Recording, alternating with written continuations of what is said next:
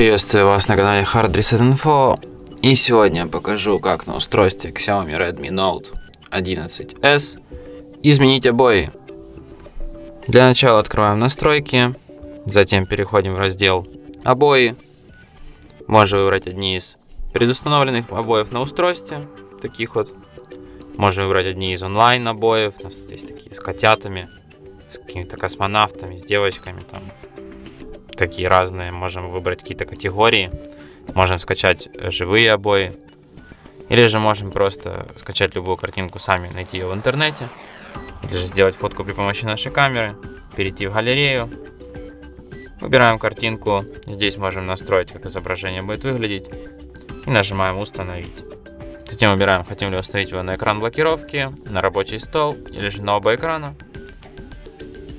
И как вы можете заметить, обои поменялись.